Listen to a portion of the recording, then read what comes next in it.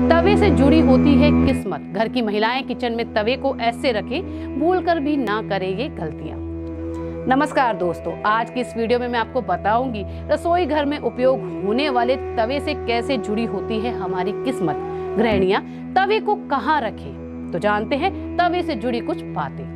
दोस्तों, रसोई को माता अन्नपूर्णा का स्थान माना गया है। इसलिए बताया गया है कि रसोई में कभी भी गंदगी नहीं होनी चाहिए। भोजन बनाने के पश्चात वहाँ साफ़ सफ़ाई कर देनी चाहिए, जिससे माँ अन्नपूर्णा खुश रहे और आपके जीवन में कभी भी अन्न की कमी ना हो। दोस्तों, रसोई घर में कभी भी कचरा नहीं फैलाना चाहिए। ऐसा करने से माता लक्ष्मी तो नाराज़ होती ही है, साथ ही आपके जीवन में अन्न की कमी भी हो जाती है।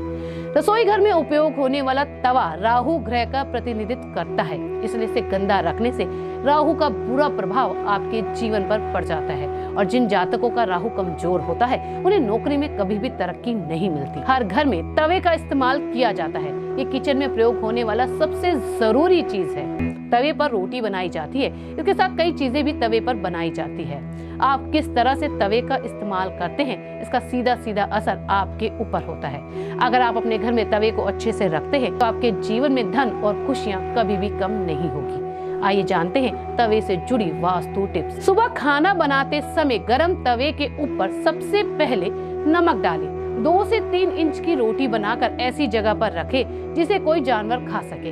या यूँ कहें कि एक छोटी सी रोटी बनाकर गाय को दे। इससे माता लक्ष्मी की कृपा बनी रहती है, घर में बरकत रहती है। जब भी रोटी बनाने के लिए किचन में जाए, तवे को साफ़ करने के बाद ही रोटी बनाएँ।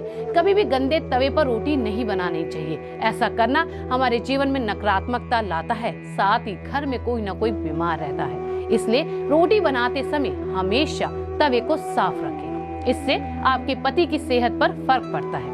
तीसरा, कभी भी गर्म तवे पर पानी नहीं डालना चाहिए। वास्तु के अनुसार, गर्म तवे पर पानी डालने से जो छन की आवाज़ आती है, वो घर में नकारात्मक ऊर्जा लेकर आती है, जिससे आपके जीवन में आर्थिक परेशानियाँ बढ़ सकती है। इसके साथ दोस्तों, तवे को कभी भी उल्टा नहीं रखना चाहिए। ऐसी मान्यता है कि उल्टा तवा रखना आपके जीवन में परेशानियाँ ले आता है।